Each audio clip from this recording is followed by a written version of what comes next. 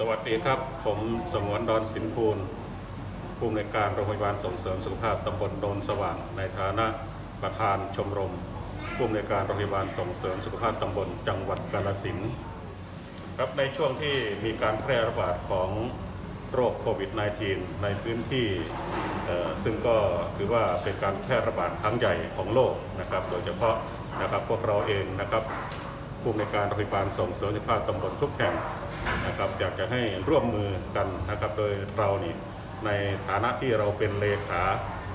คณะกรรมการอำนวยการป้องกันการแพร่ระบาดโรคโควิด -19 ในระดับตำบล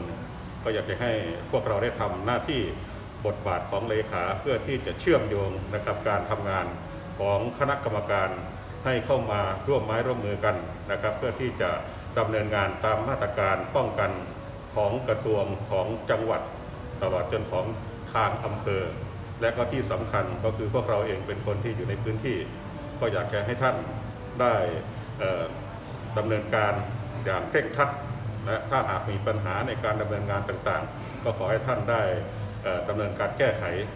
นะในระดับพื้นที่ ถ้าหากแก้ไม่ได้ก็ให้รายงานไปที่ศูนย์อำนวยการในระดับอำเภอต่อไปเพื่อแก้ปัญหาให้